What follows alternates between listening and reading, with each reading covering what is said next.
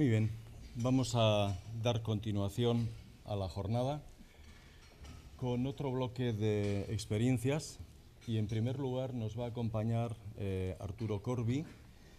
Arturo es una persona de gran experiencia en el mundo del software aplicado a la movilidad y actualmente eh, dirige el Centro de Aplicaciones de Movilidad Integrada en Schneider Electric. Eh, Arturo, por favor.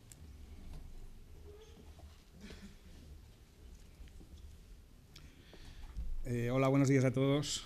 Primero agradecer a Tecnalia la invitación, como no podía ser menos, y empezar un poco por transmitiros eh, el caso que queremos contar aquí. Es un caso de éxito, con lo cual, cuando leímos el nombre de la jornada, Inspiring Day, a nosotros la palabra inspiración nos gusta mucho, porque es el origen de, lo que vamos a ver ahora.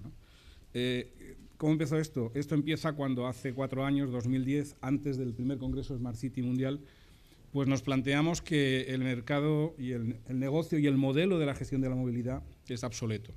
Necesita una transformación, está digamos, enmarcado en los silos, como todos sabemos, y necesita que todo esto que estamos viendo que empieza a aparecer aterrice en, este, en, la gestión de la movilidad. Eh, a la hora de plantear esto, pues planteamos eh, dos aspectos. ¿Cómo la reinventamos? Pues usando lo que hay. Vemos que los datos pasan a ser elemento fundamental en cualquiera de las actividades que hacemos. Vemos que, y, de ahí llegamos al Big Data en muy poco tiempo, vemos que las comunicaciones se disparan, las, las aplicaciones móviles y las nuevas tecnologías en software se disparan, y vemos que los modelos de negocio también cambian. Al abordar esto nos surge eh, otra problemática. Estamos acostumbrados a trabajar para los gestores. Eh, tenemos algunos compañeros de las ciudades que gestionan las ciudades y, claro, la puesta en escena del ciudadano como centro, cuando la aterrizas en infraestructuras es bastante más complicado, ¿no? porque al final las infraestructuras son las que son y lo que tienes en ese momento tienes que ponerlo en valor. ¿no? Eh, entonces llegamos también a otra conclusión, eh, las barreras, que son lo que realmente impide esta evolución, muy asociadas también al territorio, como decía nuestro compañero de la Fundación Metrópoli, ¿no? si no sabemos pensar en el territorio como un elemento que nos tiene que servir para romper esas barreras, y hacer que todos giremos alrededor de las necesidades de los que vivimos en ese territorio, pues la cosa se complica más. Bueno, eh, al final identificamos unos cuantos, unos cuantos drivers, dos principales, uno técnico, integración, y otro, yo creo que asociado a, esta época, que es la información, la información aplicada a la movilidad. La estamos viendo todos, pero realmente no la estamos usando bien, ni siquiera se está diseminando bien para que la gente pueda utilizarla. Y el tercer elemento, digamos, que surge de estos dos es la coordinación entre las diferentes agencias, eh, eh, digamos, que gestionan nuestra, nuestra vida y nuestra movilidad. ¿Cómo llegar a aportar algo con esos drivers? Bueno, eh, empezamos haciendo, un, como se suele decir, un PowerPoint desde cero. ¿no? Pusimos la dimensión del problema. el problema, cuando lo ves en su dimensión, te asusta, con lo cual dices, bueno, voy a empezar a analizar todas las alternativas que tenemos. ¿no? Y nos olvidamos de lo que había hecho y empezamos a hacer un, bottom-up de todos los problemas con los que se encuentra un ciudadano, todos los problemas con los que se encuentra un gestor y todos los problemas con los que nos encontramos nosotros para abordarlo. ¿no? De manera que esa triple, ese triple eje nos fue llevando a cualificar los problemas y intentar simplificar por áreas y temáticas de la movilidad cómo abordarlos. Hablamos de la congestión, hablamos de acceso al centro, hablamos de aparcamiento, hablamos de eh, la velocidad a movilidad humana, que hoy vemos mucho en las ciudades, carriles bici, bicicletas, vehículos eléctricos, motos eléctricas. Hablamos de la restricción al centro. Estos días hemos visto en Madrid unas polémicas yendo y viniendo. Es difícil, ¿no? porque tiene muchas implicaciones también económicas. Y hablamos de lo que se puede hacer con lo que tenemos, la optimización. Todos esos casos los estamos abordando en diferentes lugares según la prioridad que en ese lugar dan a ese, a ese problema. Vamos a explicar brevemente dos de ellos y su sus diferentes aspectos, la restricción de la movilidad y la optimización. Para la restricción las soluciones suelen ser bastante complicadas, siempre suelen pasar por el cobro o de aparcamiento o de acceso y además siempre implican prohibiciones, con lo cual las posibles ventajas unidos a las desventajas que implica y el impacto que tiene en el desarrollo económico de la ciudad hacen que esté siendo muy difícil que las ciudades las, adopten en general. Hace ya muchos años que hay un Congestion Transit en Londres, otro en Estocolmo, eh, otro en Singapur, pero no estamos viendo que eso se aterrice. ¿no? Y bueno, a lo mejor algún día llega, pero está costando. ¿no? Sin embargo, tenemos soluciones más que contrastadas y con las nuevas tecnologías tenemos mucha capacidad para abordar la optimización de la movilidad, que se basa en datos, que se basa en anticipar lo que va a pasar y para eso hace falta analizar esos datos y poner herramientas que permitan a los gestores tomar esas decisiones en tiempo y forma. Y por último, esa coordinación que he comentado antes. ¿no? Eh, al final, las conclusiones, eh, la restricción, bueno, pues también incluso puede ser una fuente de ingresos, pero incluso hay estudios que según qué momentos, pues no es tan efectiva, porque en los momentos pico, pues, pues deja de aportar la solución que realmente necesita en ese momento, que es adaptarte a la demanda. Mientras que las soluciones para la optimización que podemos empezar a aplicar ya, pues no solo satisfacen la demanda, sino que encima son transparentes al ciudadano. El ciudadano solo ve la mejora, no ve toda la parafernalia que implica y no, ve, y no tiene un impacto negativo. Y además eh, optimizan las infraestructuras existentes, que en los momentos en que estamos con la coyuntura económica creo que es fundamental. Bueno, eh, nuestra aproximación va a llevar esta tecnología IT a la OT. Nosotros llamamos OT a la Operational Technology, es decir, la tecnología para operar lo que tenemos eh, sobre el terreno, ¿no? que es lo que nos ayuda a mover a la gente. ¿no? ¿Cómo hacemos esto? Bueno, pues nosotros hemos diseñado una estrategia que permite que todas las soluciones de movilidad vayan bajo un solo paraguas que llamamos Ecotraffics. Eh, esto empezó, como digo, con un PowerPoint y en octubre pasado, o sea, en septiembre pasado, el mes pasado, lo lanzamos como mundialmente. Es una solución de integración de todas las soluciones de movilidad de la ciudad. Y evidentemente, como os podéis imaginar, no está hecho al 100%, sino que lo que hemos diseñado es toda una arquitectura capaz de evolucionar para adaptarse a cada ciudad según sus necesidades. Y estamos trabajándola en diferentes ámbitos, en todo el mundo, en Estados Unidos, en Sudamérica, en Europa incluso en, Asia, para que los diferentes problemas que en su momento analizamos, que son diferentes en una ciudad latinoamericana, como ha contado antes nuestro amigo, en Colombia, por ejemplo, eh, Ecuador, Quito, Panamá, eh, frente a Europa, en la que tenemos ciudades medias o pequeñas, en las que tiene una problemática mucho más cercana al día a día del residente, pues que las soluciones pudieran adaptarse según el cliente. Eh, las claves para que esto pueda ocurrir siempre son eh, basadas en, el sentido común. O sea, al final tenemos muchas cosas distribuidas, como hemos dicho al principio, por silos. Si no somos capaces de empezar a integrar todo y a ir acumulando ese valor, ese conocimiento, y que cada inversión que hacemos en algo nuevo en la ciudad esté sumando y aprovechando lo que había antes, va a ser muy difícil real, eh, realmente llegar al grado de gestión de la movilidad que necesitan hoy los ciudadanos. Por eso, sensorizar es el primer nivel y integrar todos los datos de los sensores la sensorización no tiene por qué ser plagar de sensores la ciudad, ya hay muchos sensores. ¿no?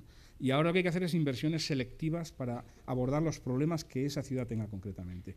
Eh, cuando el problema es que quieres dinamizar un corredor, pues lo que te interesa es tener eh, la información de tiempo de recorrido en el origen del corredor y tener la información del transporte público en el origen del corredor para los que usan ese corredor tomen las decisiones en el momento de salir de casa. Y eso que lo vemos en muchas aplicaciones parcialmente, realmente está muy poco implantado.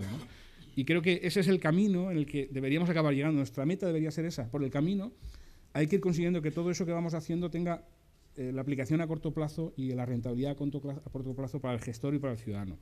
Por eso el análisis de esos datos y la toma de decisiones son elementos claves, porque son lo que va a permitir el facilitar que el gestor tome con criterio una decisión y anticipe lo que va a ocurrir, va a permitir que no solo ese gestor, sino el resto de implicados en la movilidad, pongo un ejemplo, cuando se toma una decisión en cuanto a cambiar un plan de semáforos para limitar el tiempo de acceso a las ciudades, pues se está afectando a los autobuses también. Luego, si no hay unos criterios para que los transportes públicos no tengan la solución que les permita obviar esa, esa restricción en los tiempos de acceso, pues, pues evidentemente también complicamos el transporte público. Luego, el combinar todo, ¿no? la optimización, la restricción y la promoción del transporte alternativo, la multimodalidad, es fundamental en lo que viene por delante.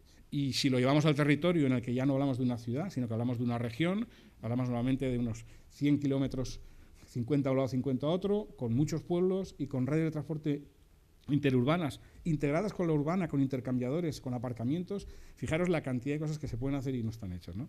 Bueno, simplemente nosotros hemos estructurado nuestra forma de verlo en tres niveles. Un primer nivel que llamamos Command, en el que lo que hacemos es esa sensorización e integración.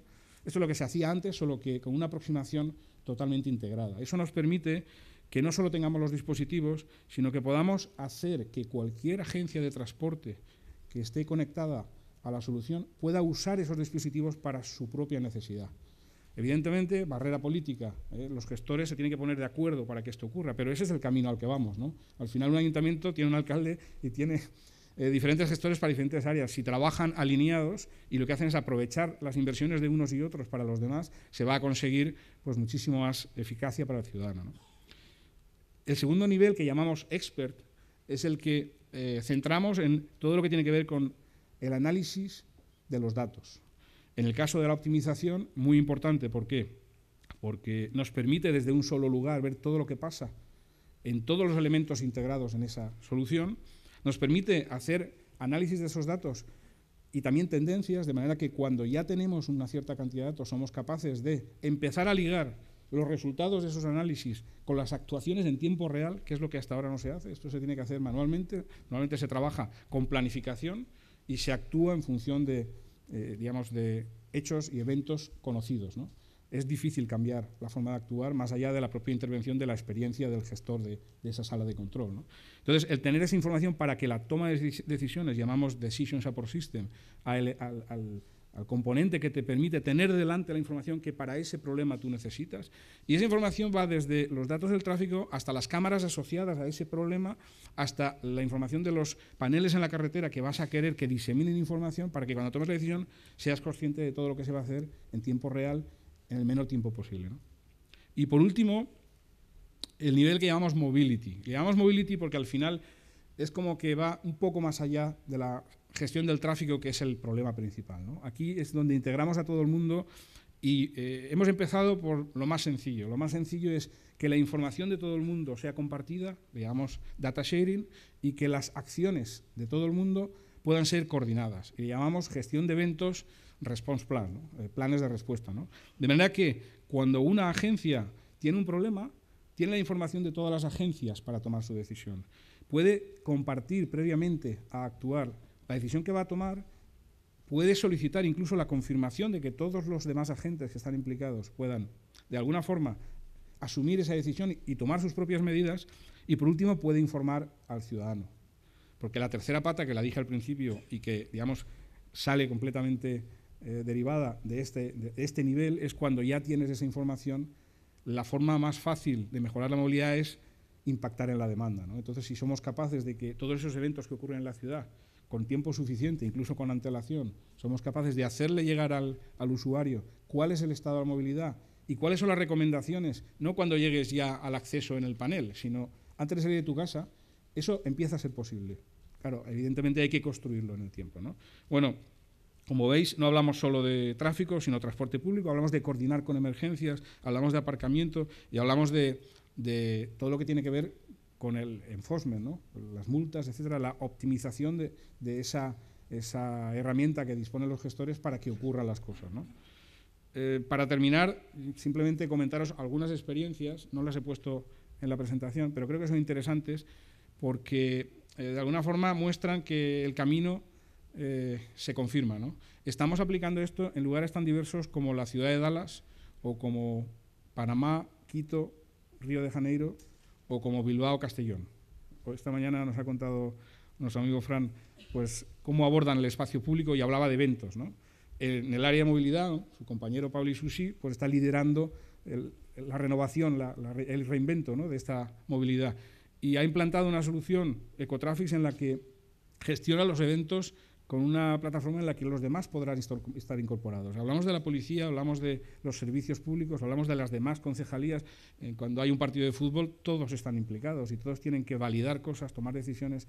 Es decir, existe una oportunidad importantísima en la que la mejora del servicio de movilidad al ciudadano se va a percibir por el ciudadano de manera muy inmediata y por el gestor que creo que también es muy importante. Pero bueno, creo que a través del objetivo ciudadano estamos dándole al gestor muchísimas más herramientas para que sea así. ¿no?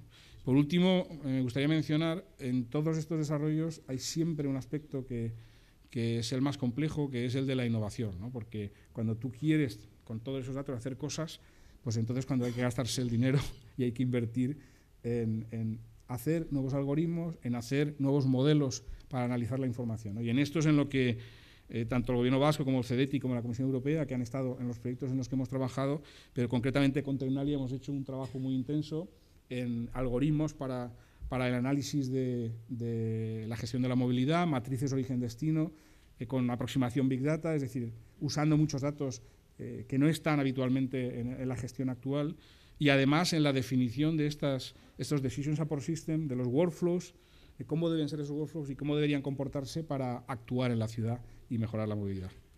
Nada, esto es todo y les agradezco mucho su atención. Muchas gracias.